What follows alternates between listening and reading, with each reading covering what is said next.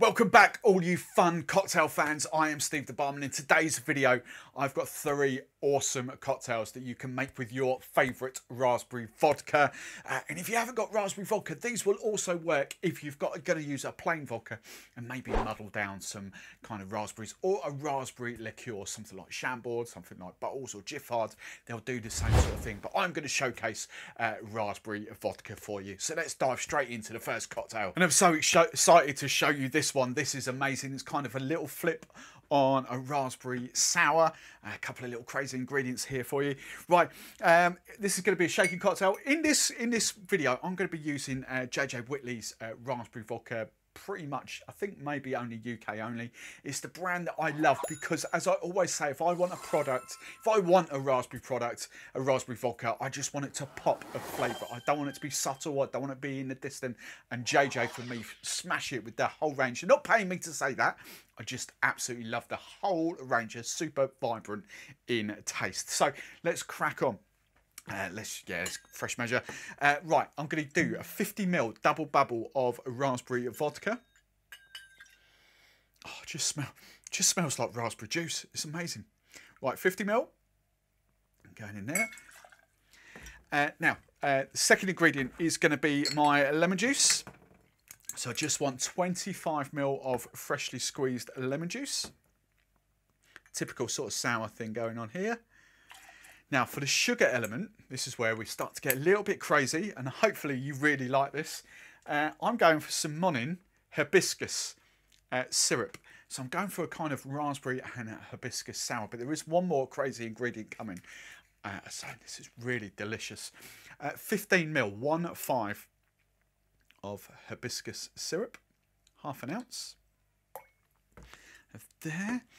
Right, and then just to kind of balance it out even more, uh, I'm going for, I'm going to try and start using this a bit more because it is really nice. Suze, it's like a bitter aperitif. It's really bitter. You don't need that much of it at all. But I think it really helps kind of add a little bit of complexity, but a, a little bit of kind of balancing flavours. It's amazing. Now for this, I'm just going for seven and a half mil, a uh, quarter of an ounce, not much more than that. It's like gentian, gentian roots vibrant. I think if I could pour it high enough, I don't know whether you'll see it. It's like a vibrant yellow in colour. Kind of floral notes in there, but you do get the sort of bitterness come through. It's lovely. It'll just work a treat in there. Now for the final ingredient, obviously sour, you would traditionally use egg whites and things like that. If you're new to my channel, I'm not going to give you the whole waffle too much, but it's the product that I love to shout about. Uh, Miraculous Foamers, there is loads of different versions of this uh, out there now. They're just egg white replacements. This little bottle was 160 egg whites, uh, vegan friendly essentially. Uh, so that's kind of why we use them. So I just want about a third of a pipette in there. And that'll do the same as an egg white. Now, uh, I'm just going to kind of dry shake this uh, to get the froth, to get the foam going. So hard, fast shake, about five six seconds, get that, get the froth going. There you go, you can see that's all there already. Now I'm just going to ice this up. Pull that back in there so you can see it. Just going to ice this up.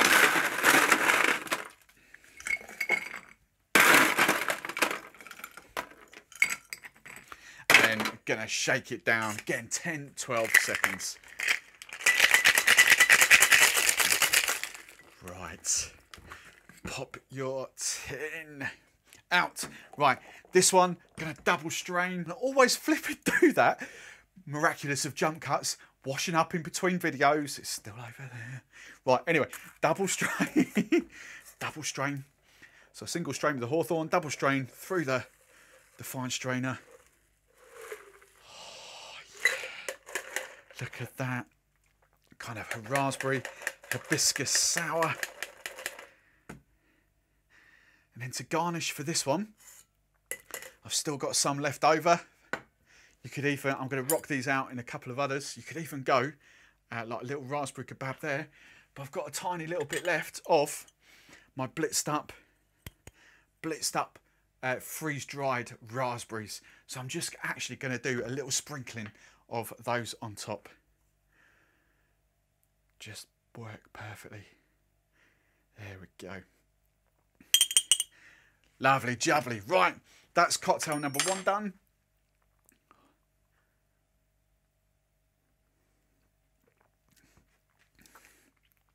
Oh, the hibiscus. This stuff with raspberry vodka.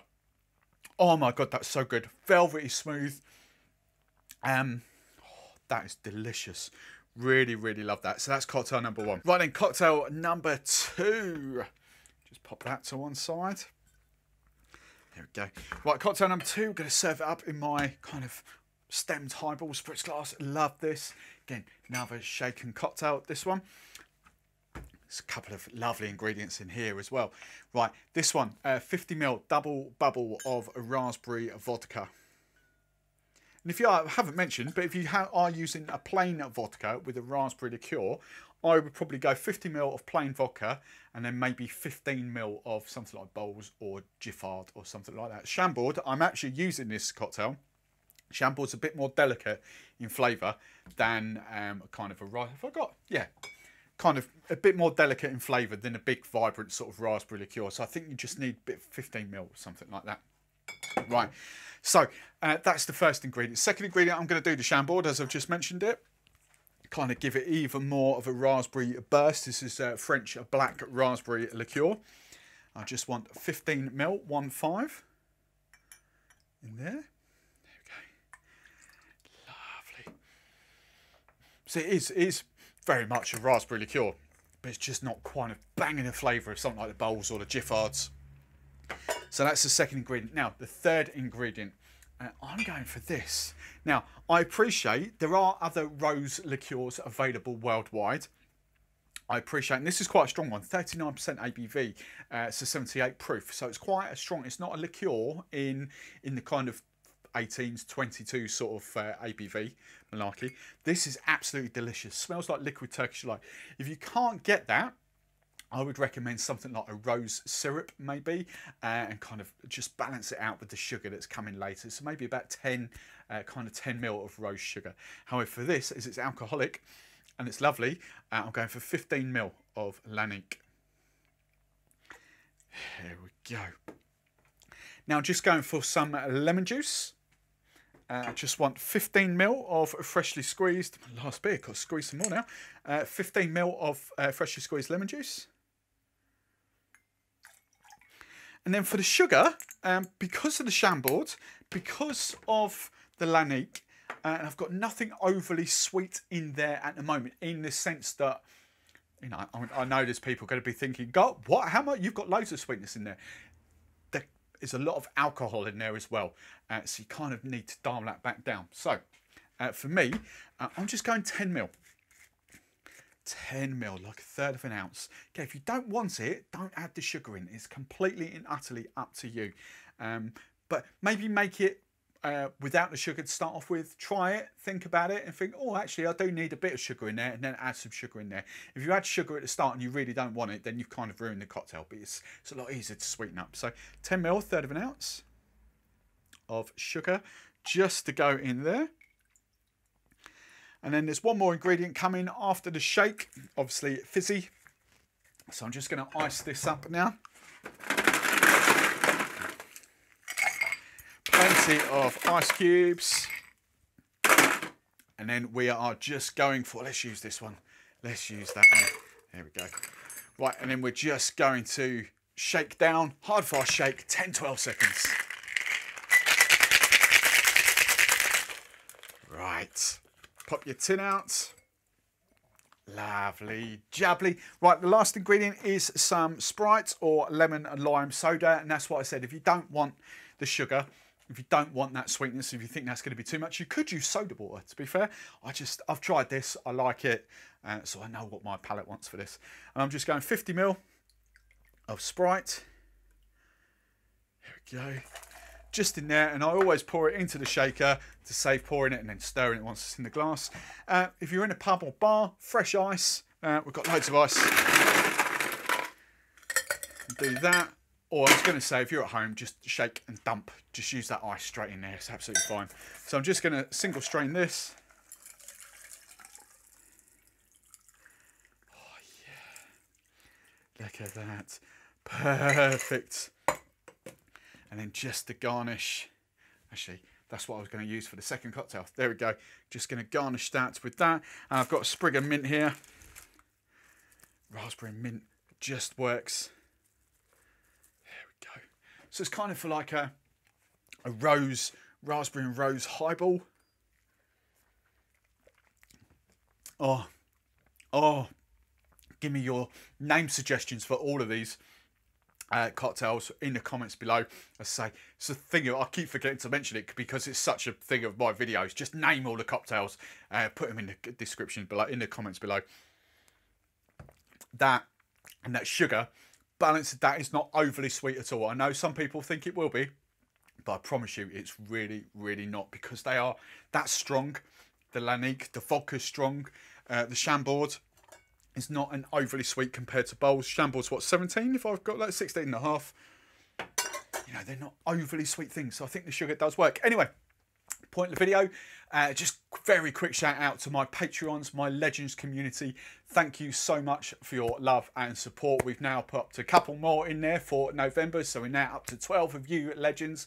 Thank you very, very much. There's new improvements and exciting things to come, uh, courtesy of a few of my Patreons that are kind of contributing and say, Steve, let's do this. So the way to get involved, download my free cocktail book, uh, which you'll see in the pinned comment on any one of my videos.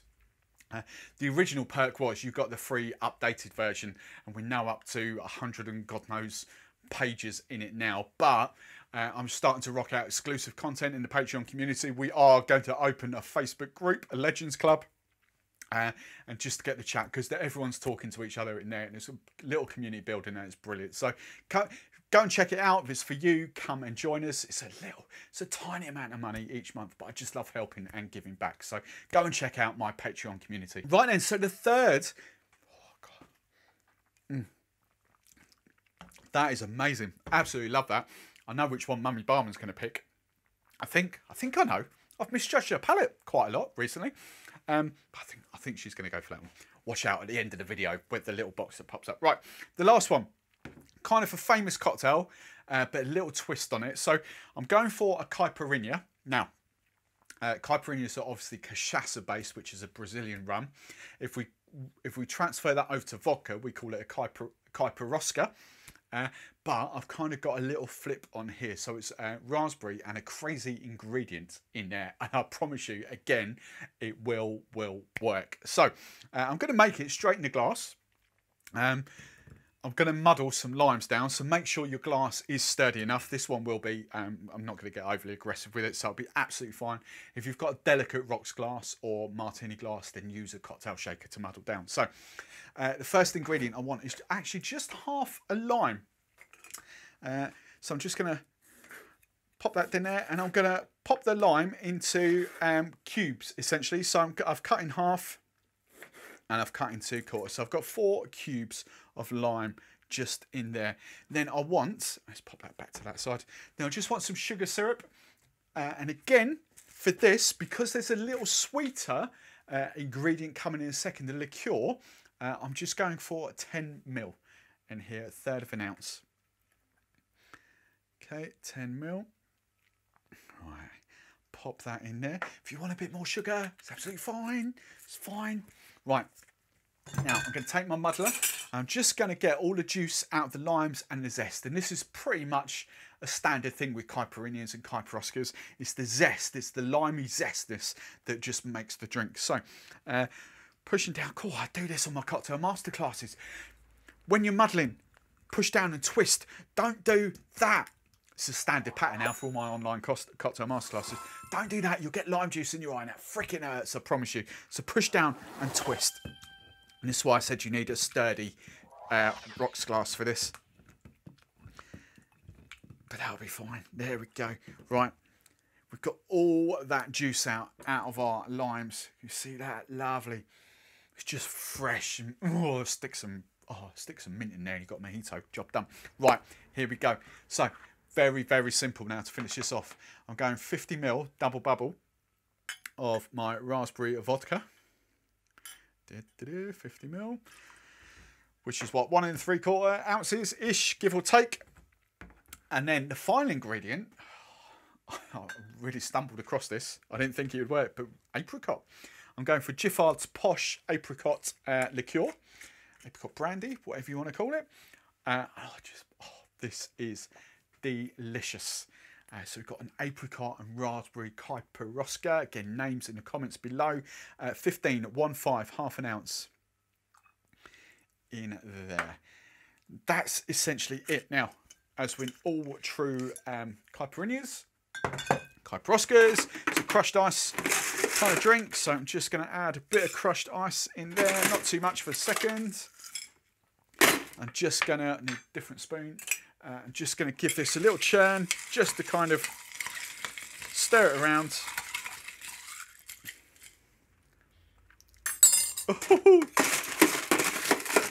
and top it up with crushed ice.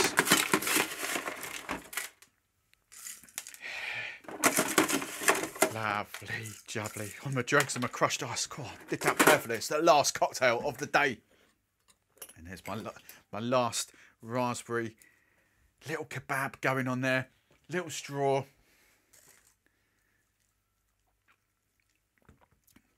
Oh, apricot, raspberry. Again, I'd love to know why certain flavours work with with the, with the shit. I've just done a watermelon for the Drink Stuff channel. And again, I was saying, I don't get why tequila and watermelon just work so well, but it does. Oh, it's amazing. Right, there we go. As I mentioned, Mummy Barman's will be uh, on screen now. Her favourite order. I'm, I'm, guessing, I'm predicting that one, but I don't know. My, oh, I don't know. Crazy. But anyway, hope you enjoyed that. Comments below uh, with your name suggestions. Make sure you like, like and subscribe, and I will see you in the very next video.